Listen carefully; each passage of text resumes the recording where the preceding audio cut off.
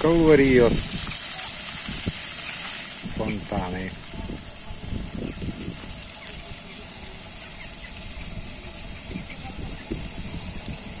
Centrinė aikštė.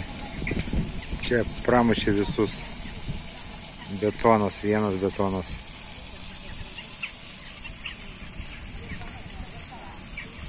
Pats miestelis tai labai gražus bet čia tai su betonais tai padirbėta gerai. Nu, aš tu dviratininkam gerai važiuoti.